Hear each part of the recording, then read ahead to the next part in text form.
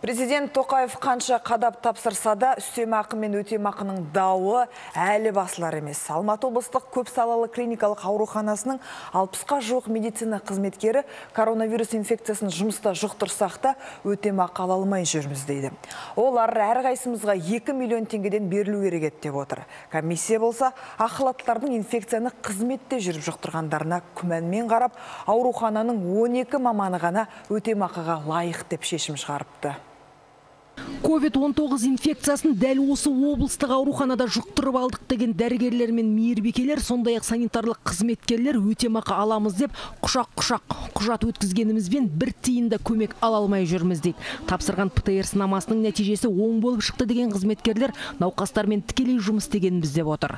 Мәселенің жай жапсарын білуге тілшілер тобының жеткені сол еді, аурухананың негізгі үш есігі де тарс жабылды а қазір біз далада жүрміз жарысы іште жүр.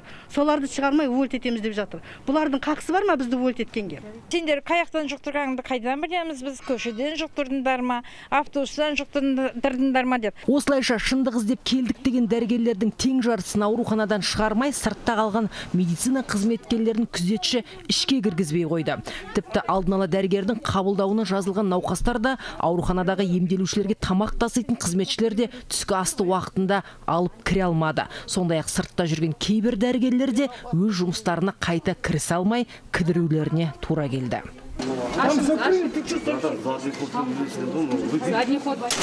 Ақыры ауруханаға кіретін негізгі үш есік журналистер кеткенше ашылмады. Бірақ облыстық денсаулық сақтау басқармасының жауаптылары мәселенің мән жайын кешқұрым түсіндіріп беруге тырысты.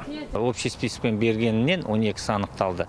Сегізі міндет атқару барысында осы жұқтырған ауруы анықталмады. Біз тағы бір қазір ол списокті қарап шығамыз тағы да анықтаймыз.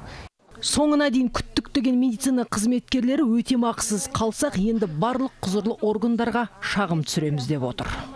Әйгерім ердәулет думан сүлейменов информбюро алматы.